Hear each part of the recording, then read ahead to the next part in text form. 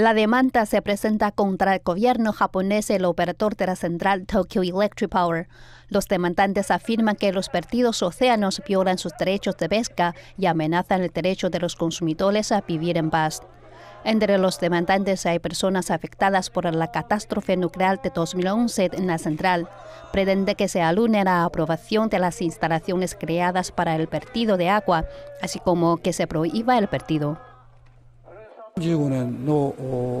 En 2015, el gobierno japonés prometió que no vertiría el agua contaminada por la energía nuclear en el océano sin el entendimiento de los pescadores locales y otras partes interesadas. Los japoneses han escuchado estas declaraciones decenas de veces y la Asociación de Pescadores de Fukushima mantiene su oposición. Sin embargo, el gobierno japonés ignoró la oposición e insistió en el vertido.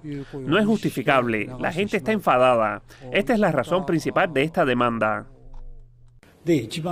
Lo más importante es que un gran número de personas en Japón, especialmente en la prefectura de Fukushima, no entienden el vertido. Queremos que el país y el mundo lo sepan. Así que creo que ese es el objetivo de esta demanda.